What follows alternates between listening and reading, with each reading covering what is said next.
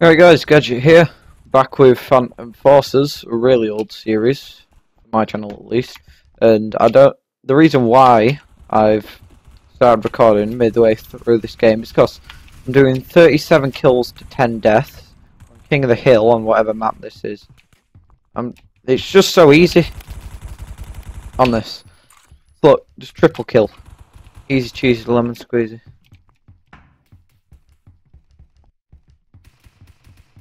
Probably because all the enemies are little kids.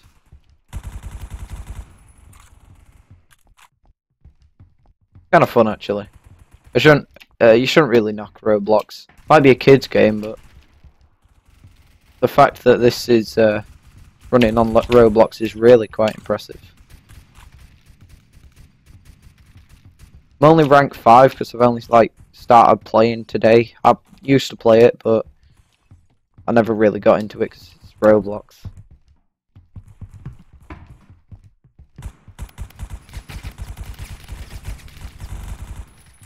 Yeah? Oh, hello. You do get the odd people that are actually quite good. Still haven't figured out how to lean yet, though. That's spot. Yeah, still haven't figured out how to lean. The bug slow. Let's if I get kill, I swear to God. Let's go, boys. Hey, oh, hello.